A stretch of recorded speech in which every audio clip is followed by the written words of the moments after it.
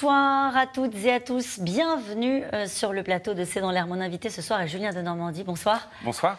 Merci d'avoir accepté cette invitation. Vous. êtes ancien ministre de l'Agriculture, mais surtout, vous venez de publier avec Éric Orsena Nourrir sans dévaster euh, aux éditions Flammarion, alors que le gouvernement est toujours aux prises avec la colère des agriculteurs. Et c'est cela aussi que nous allons aborder ensemble ce soir.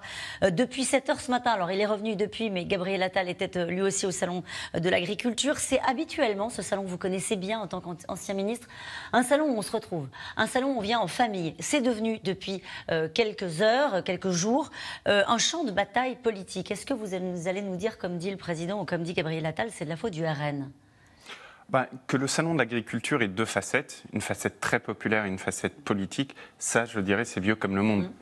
Euh, qu'il y ait des enjeux euh, politiques euh, singulièrement prégnants cette année, à l'évidence. Mm. À l'évidence. On voit bien des récupérations ici ou là. Moi, je pense qu'il faut avoir une boussole, c'est le monde agricole. C'est-à-dire, derrière ces enjeux politiques, qu'est-ce qui doit nous réunir? Comment fait-on pour consolider la ferme France? Et c'est ça le plus important. C'est bien le sujet d'ailleurs hein, du gouvernement qui multiplie les propositions depuis euh, quelques semaines, de nombreuses propositions, dont la dernière en date. Alors vous allez me dire si elle avait été évoquée quand vous étiez ministre de l'Agriculture, l'idée euh, de prix plancher pour que les agriculteurs parviennent euh, à vivre de leur production. C'était inenvisageable en réalité quand vous étiez en fonction. Disons que derrière ce terme, et pardon de rentrer un peu dans la technique, derrière ce, terme, il y a un enjeu qui est fondamental, c'est le revenu de nos agriculteurs. Et le revenu de nos agriculteurs, ce qu'il faut bien comprendre, c'est que c'est la mère des batailles. N'oublions jamais qu'entre 2010 et 2020, il y a 100 000 agriculteurs qui ont fermé leurs fermes. Et dans cette mer des batailles, vous avez d'un côté la grande distribution, de l'autre les industriels et enfin les agriculteurs. Mmh. Vous avez un ménage à trois et un ménage à trois dans lequel vous parlez d'argent. Ben, dans un ménage à trois, quand vous parlez d'argent, à coup sûr, ça finit mal. Rassurez-moi, on ne le découvre pas, ça. Non, et donc moi j'avais porté une première loi dont beaucoup de personnes parlent aujourd'hui, qui s'appelle la loi Egalim, qui visait à faire quoi? À dire dans ce ménage à trois, on va partir du coût de production de la matière première agricole. Et on va faire en sorte que ce coût de production soit préservé pour aider les agriculteurs dans ce ménage à trois. Force est de constater que un, il faut aller beaucoup plus loin dans les sanctions pour toutes les industries des grandes distributions qui jouent pas le jeu. Et deux, c'est ce que dit le président de la République, est-ce qu'on ne peut pas aller encore plus loin en sacralisant ce coût de la matière première agricole? Vous aviez conscience, quand vous êtes arrivé en fonction, euh, c'est la mère des batailles, dites-vous aujourd'hui. Vous le saviez lorsque vous êtes arrivé aux responsabilités. Pourquoi est-ce qu'on n'y est pas arrivé? Pourquoi est-ce qu'il faut légiférer encore d'ici au mois de juin, sortir des propositions euh, comme celle des prix planchers de nouveau, euh, qui, on va le voir dans un instant, sont pas si faciles à appliquer? Pourquoi on n'y arrive pas? Est-ce que c'est parce que, comme le dit Marc Fesneau, les grandes distributions manquent de patriotisme C'est ce qu'il a dit. Moi, je pense qu'il y a une, une, véritable question de rapport de force. La loi, c'est bien, mais la loi, ça peut pas tout. Si la loi était les solutions à tout, je peux vous dire, dans notre pays, on serait les champions du monde. Les champions du monde. Et il y a un rapport de force. ce qu'on raconte avec Eric Orsena dans, ce livre, Nourrir sans dévaster, c'est justement euh, le, le, derrière de la scène dans ce rapport de force. Quand vous voyez qu'une entreprise comme Lactalis a demandé à ce qu'on enlève l'origine, l'origine du lait sur les briques de lait. J'étais ministre à l'époque, j'ai porté le sujet en justice, j'ai perdu. Pourquoi je vous donne cet exemple? Pourquoi vous avez perdu déjà? Parce que la Cour de justice européenne a donné raison à Lactalis pour de sombres explications, mais a donné raison à Lactalis. Et donc j'ai perdu face à la justice. Pourquoi je vous donne cet exemple mm. Parce que que ce soit sur l'origine ou le prix, c'est un véritable rapport de force. Et Lactalis a été à nouveau visé aujourd'hui au Salon de l'Agriculture. Ils ont déployé une banderole en disant les industriels font leur beurre euh, sur notre dos. Pour les, que les gens qui, nous regardent comprennent bien, euh, Lactalis offre 420 euros la tonne de lait quand le vrai coût de production c'est 440 et que la rémunération idéale pour que les, que les producteurs puissent en vivre, ce serait 500 euros. Et quand vous avez d'autres industriels comme par exemple LSDH, qui est une autre laiterie euh, dans le centre Val-de-Loire, elle joue le jeu et rémunère correctement les agriculteurs. Comme quoi c'est possible. Et je reviens à cette notion de rapport de force. La loi, elle doit donner les outils pour que le gouvernement, que les responsables puissent intervenir dans le rapport de force. Vous n'aviez pas les outils, Julien de Normandie bah, C'est pour ça qu'on a passé la loi Egalim. Après, aujourd'hui, le monde agricole, d'ailleurs, salue la loi Egalim, mais dit il faut aller encore plus loin, ce que dit le président de la République. Moi, tout ce qui va en faveur d'un renforcement du revenu des agriculteurs, j'y suis évidemment favorable. Il y a quelques semaines, on parlait aussi du prix on parlait, on parlait, de la négociation entre les distributeurs et les producteurs, mais plutôt du côté de la grande distribution, en disant comment est-ce qu'on fait pour faire baisser les prix.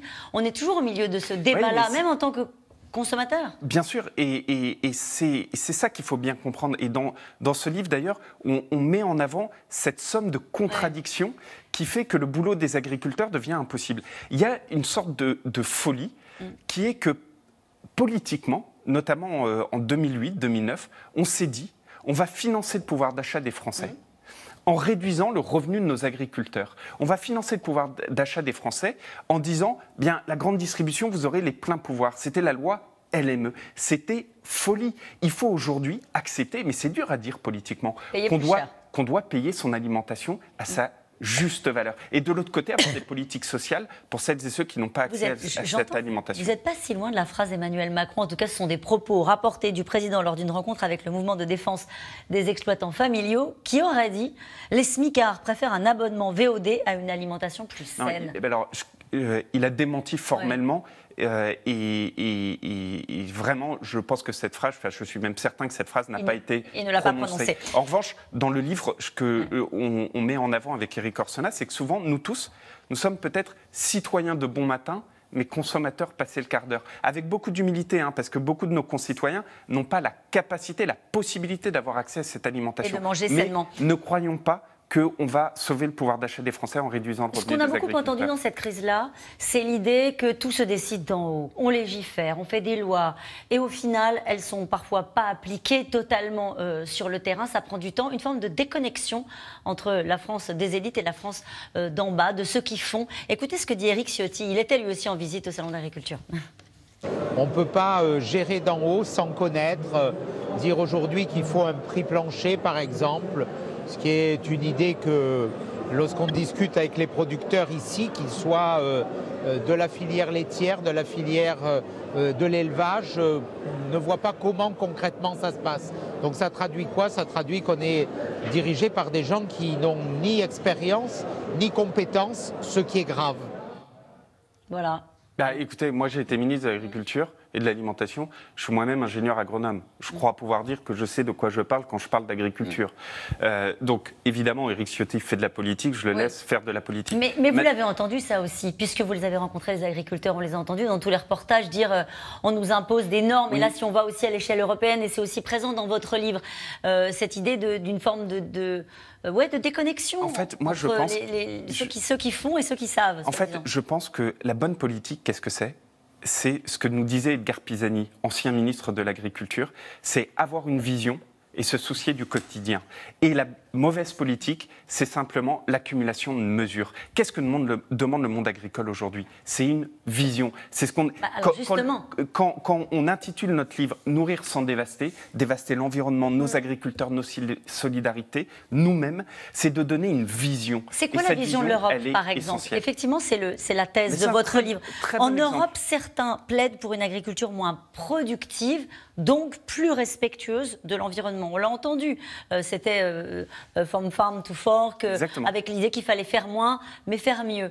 Euh, est-ce que cette crise agricole ne remet pas complètement ce modèle-là cul par-dessus tête? Mais on le montre d'ailleurs à, travers un, voyage à la fois dans, nos contrées, mais aussi à l'international, en Ukraine, au Brésil, en Égypte, par exemple. On montre à quel point la notion de production est importante.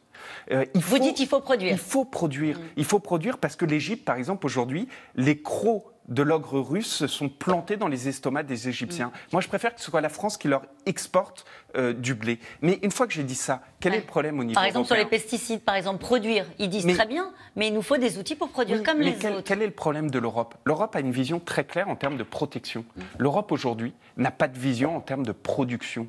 Et c'est ça ce qui manque dans la vision. Une fois, demandez à n'importe quel responsable politique européen quels sont les objectifs de production.